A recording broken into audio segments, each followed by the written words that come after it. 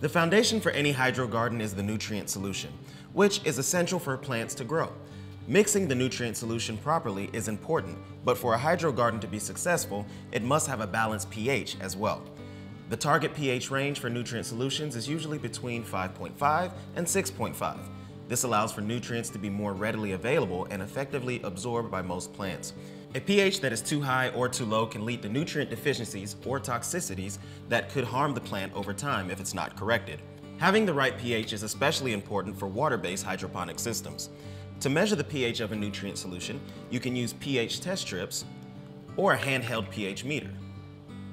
Test the nutrient solution two to three minutes after adding the nutrients to the water in the reservoir. If the pH is between 5.5 and 6.5, you're good to grow.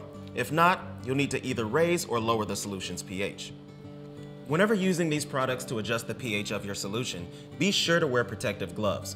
If the pH is too high, add Root Farm pH balance down in small increments, testing the pH frequently until it reaches the desired level. If the pH is too low, add Root Farm pH balance up following the same method. For more videos, tips, and tricks for growing hydro, visit us at rootfarm.ca.